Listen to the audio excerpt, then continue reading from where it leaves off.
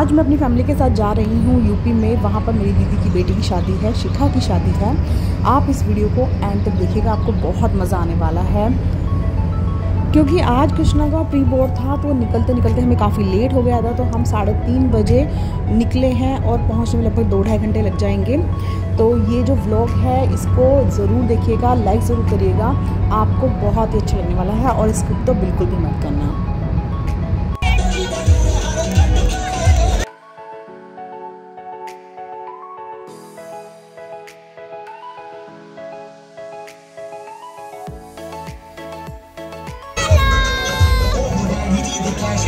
你炸的那些山，那个。